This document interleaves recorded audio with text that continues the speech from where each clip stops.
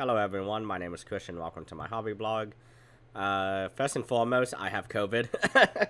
uh, it absolutely sucks. That's why I was feeling, or at least didn't sound good yesterday when I was doing uh, whatever video I did yesterday. Uh, I guess the Christopher Lee video. But um, today I'm excited to finally go into uh, some more Vinegar Syndrome reviews. Uh, I have a big announcement for in a couple weeks, I guess, when the subscriber week happens. Um, a lot of y'all would be quite surprised at it, but for now, let's talk about a movie that blew me away. Um, this is probably my favorite so far of the package, um, which isn't saying much because this is the second one. But this is from the November 2022 Vinegar Syndrome subscription package. I am a subscriber, so I get everything and it comes in. But this is one that I heard a lot about when it was announced, and I was really excited for it. This is one of the 4Ks that they had. I guess the 4K uh, release that they had for this month. But I'm talking about the film by Matthew Bright uh, from 1996, starring Reese Witherspoon and Kiefer Sutherland. It is Freeway. This movie was awesome. I really, really enjoyed this. I wouldn't give it a five. I think it's a very strong four, maybe four and a half. And what I love most about it is that the plot is amazing. The performances blew me away. I really like the writing of it, all of the dialogue that goes out, uh, or that is said throughout this film is just absolutely snappy and is so kind of hit you in the face and I love that about this movie. Uh, Reese Witherspoon plays a delinquent child who, uh, whose mom is a uh, prostitute and her stepfather is a drug abuser and a molester of Reese, Reese, Reese Witherspoon. I'm sorry. And we even get some really sleazy scenes throughout this movie. Some really shocking scenes I did not think this movie would go that far. And we also have Amanda Plummer in this movie who plays the mom.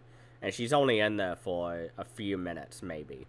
But she is always a joy to watch because she was also in uh, The Fisher King with uh, Robin Williams and, uh, oh my gosh, um, Big Lebowski guy. Um, oh my gosh, I Jeff Bridges, that's his name. Uh, she's in that film with them, and she is absolutely amazing in that one, and she's just as equally amazing in this one too, in Freeway. And I didn't watch or at least listen to the new commentary track, so I don't have any uh, thoughts about that. Uh, I didn't really feel the need to because the interviews gave a lot of information. And the first one that I listened to was the interview with the director, Matthew Bright, which is 30 minutes long. So it's about a quarter of the movie. So he said that he was originally in Oingo Boingo. If you don't know who they are, they're a pretty great uh, 80s pop band. Uh, Danny Elfman is in it too, and there's some really funny stories with uh, Danny Elfman because he also did the score for this movie and uh, Danny Elfman actually did the score for minimum payment. And I'll get into that more when I talk about the interview with the producer, which is pretty funny. But um, apparently, Kiefer Sutherland was the last choice that the director had because the way that you cast movies that you can only put up one person for a role at a time. And if they decline, you go on to the next person and apparently Kiefer Sutherland was the final choice of the director and if he didn't agree to it the producers were going to take the film away from him and put in a new director which I thought was shocking because this movie is so well done and I think only the director could have done it. Um, they talk about how this movie is definitely a vision of the director. It's not really just a movie that was made that anybody could have directed. So I was kind of surprised that they would have taken it away, but apparently the character of Reese Witherspoon's character, or of Reese, that Reese Witherspoon uh, directs or acts as, uh, apparently uh, she was based off of the director's wife at the time, which I thought was interesting, is the only word I can say. Um, apparently all of the sleaziness in this movie that we see came from real encounters that the director had when he was traveling across America in the 80s and also into the early 90s because he did work in Oingo Boingo and was one of the uh, musicians in the band. So he talked about how he really wanted to uh, be like his favorite director, which is John Waters, of having these very uh, interesting and uh, sort of eccentric characters, and he definitely nailed that. I'm a big John Waters fan, and I didn't really think of John Waters while watching it. And if I did, it might have just been a coincidence.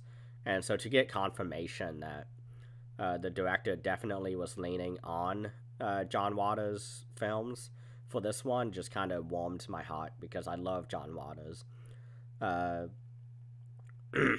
he said when he first met Reese Witherspoon, he said it was basically the same experience that he had uh, seeing Jimi Hendrix play guitar for two seconds and knew that he was the best guitarist. And he said that it was the same thing for Reese Witherspoon, where he felt that she was the best actress at the time. So I definitely agree with him. She's a really great actress, and especially in this movie, it's kind of shocking uh, how good she is.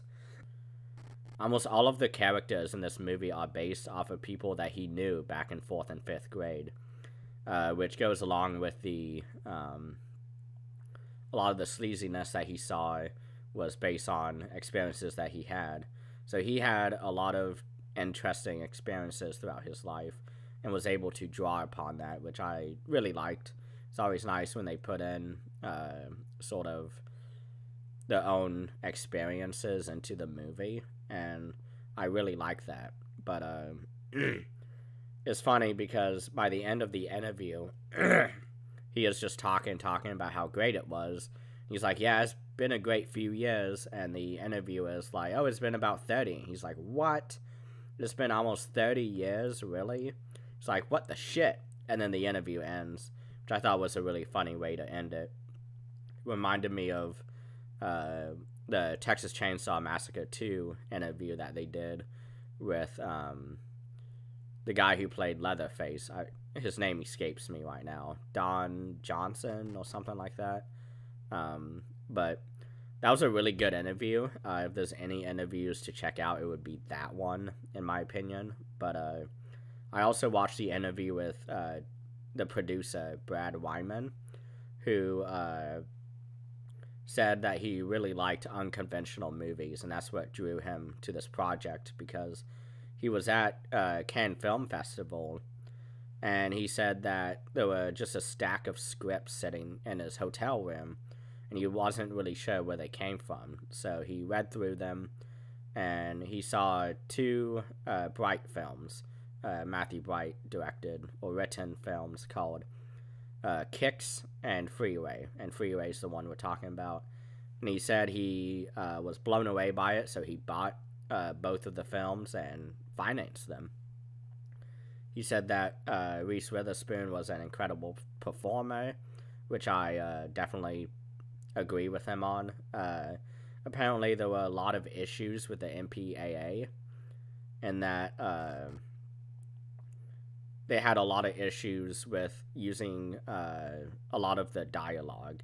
There's a whole lot of cussing in this movie, and it doesn't really. Uh, you kind of hit over the head with it. He's what's funny, which I alluded to earlier, is that Danny Elfman was the composer for this film, and so. And as I said, Danny Elfman took a very small check for this movie and the reason why is that he had this producer and Matthew Bright come over for a week and do yard work for him, clearing out uh, brush all up and down his uh, Hollywood uh, estate. And he said it was very hard work, but that he said it was worth it at the end because the movie ended up being very good, and that the soundtrack, especially, is very uh, haunting and uh, sort of just has that Danny Elfman magic that a lot of his scores have. And the score, which I haven't really mentioned, is what I loved too. But it was definitely a score that wasn't shouting over every other element of the film, which I like. It was more supporting the film. And he said uh, that Danny Elfman didn't really want to uh, charge his friend who was in Oingo Boingo with him. And so that's kind of the deal that they came up with.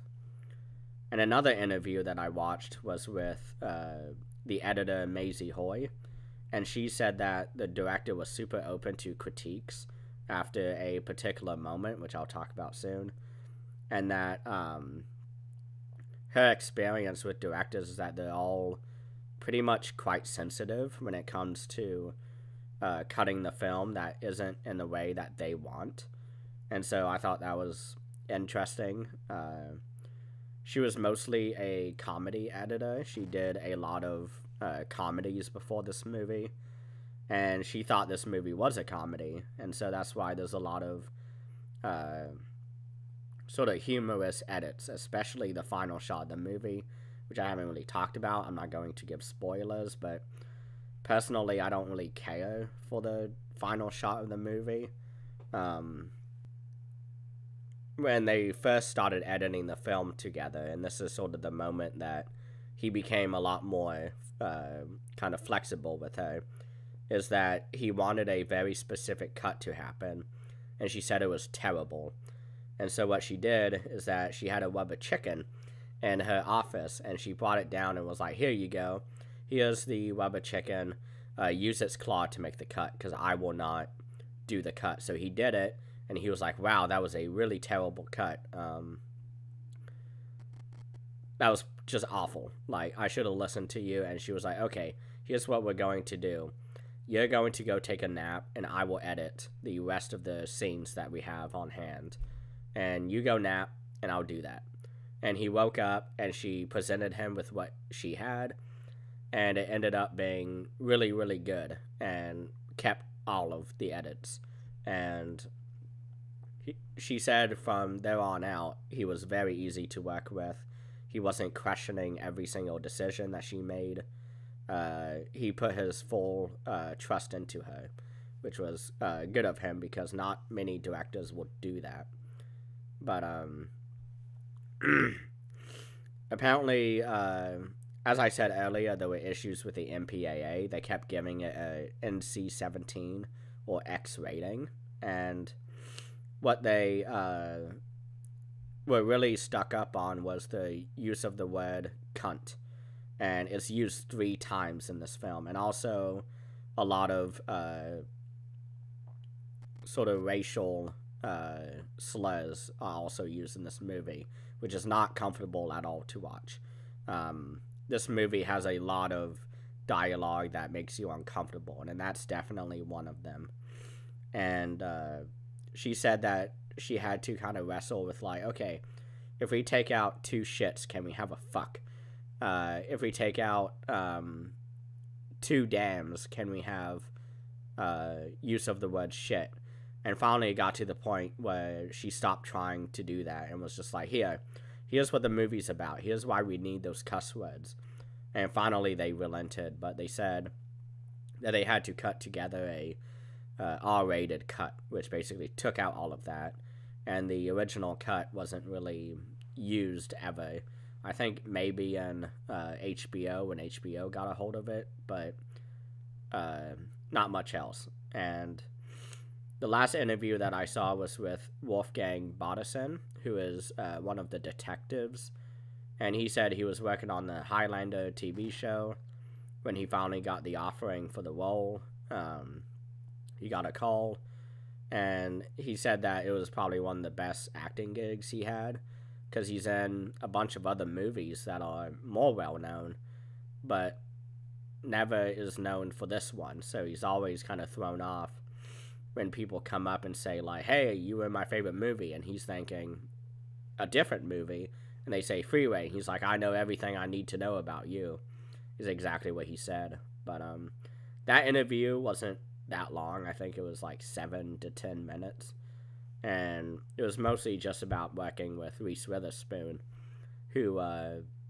her character becomes or goes to jail basically, and he's having to interview her with his uh, cop uh, partner, and so they go back and forth uh, talking about uh, how she needs to be open about the serial killer and all of that, and to help him or help them lock up uh, the killer. But she wants to take matters into her own hands because he has survived her uh, shooting. She shot him like five times, and that's where the uh, really fucked up face uh, comes into play. That's the uh, serial killer. But uh, yeah, really great package. The interviews were just okay. Uh, would I have bought this uh, without the subscription? Eventually, if I'd heard the hype, but I don't think I would have bought this like. I don't think I would have bought this uh, upon announcement, for example. So yeah, I can't really do much else. I feel like I'm dying now. Try not to cough, but uh, thank you all so much for watching, and please have a great rest of the day.